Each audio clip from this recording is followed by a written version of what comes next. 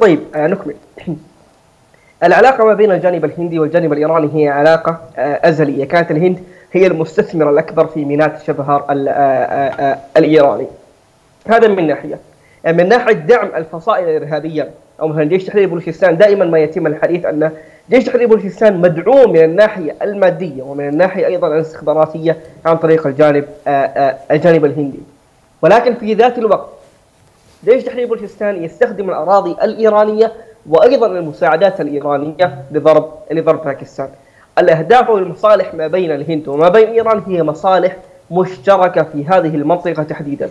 الحليف الاستراتيجي لباكستان هي الصين. الحليف الاستراتيجي لأمريكا هي أو للهند هي أمريكا. أمريكا ليست حليفة أو عفوا الهند ليست حليفة للصين.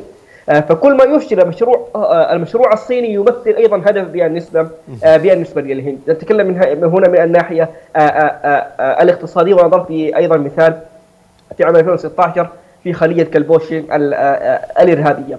المثال الآخر ما تحدثت أنت عنه في بداية تقريرك عن الهجمة التي حصلت اليوم والتي قتل فيها خمسة جنود باكستانيين نعم. بنيران على الحدود الأفغانية من جيش أو من حركة طالبان باكستان.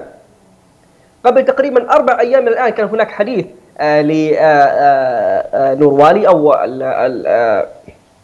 زعيم أو زعيم تحرير تحريك طالبان باكستان في حديث له مع الجانب الهندي ومع إحدى القنوات الهندية حينما صرح ببراءة حركة طالبان باكستان من لشكر طيبة.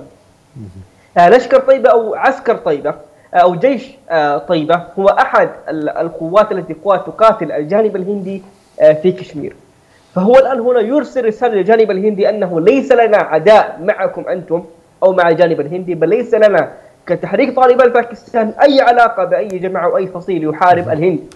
ولكن عدونا وهذا كلامه هو نقتبس من كلامه بحسب حديثه مع الصحيفة الهندية.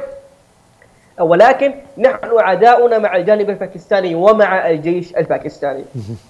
بإمكانك أن تأخذ فكرة حينما تتبرأ جماعة تدعي أنها جماعة إسلامية من محاربة العدو الفعلي للمسلمين في شبه القارة الهندية تتكلم عن الهند التي تنكل ب 200 مليون مسلم وأيضا تسيطر على إقليم كشمير المحتل ويتبرأ من الجماعات المناوئة لهذه الدولة ويعتبر أن عدوه الرسمي والوحيد هو الجيش الباكستاني والذي يعتبر بمثابة جيش إسلامي صح التعبير.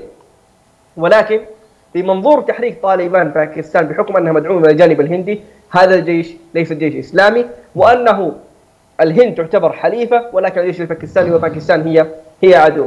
هذه إحدى المغالطات المنتشرة حاليا لدى هذه آآ آآ يعني لدى هذه الجماعة.